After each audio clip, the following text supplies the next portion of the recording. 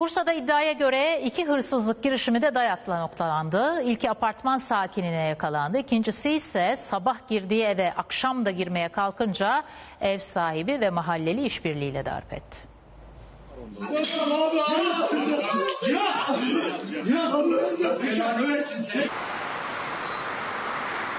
İkisi de suçüstü yakalandı. İkisi de sonunun böyle olacağını hesaplayamadı.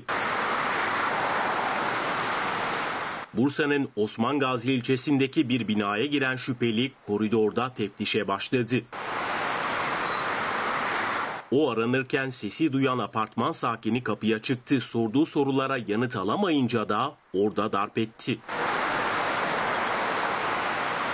Yine Bursa'da iddiaya göre bir hırsız sabah girdiği eve gece saatlerinde yine geldi. Ama bu kez balkonda yakayı ele verdi.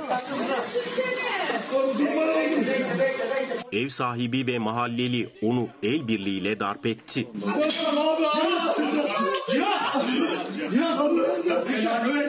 Hırsızlık girişimleri dayakla sonuçlanan iki kişi polise teslim edildi.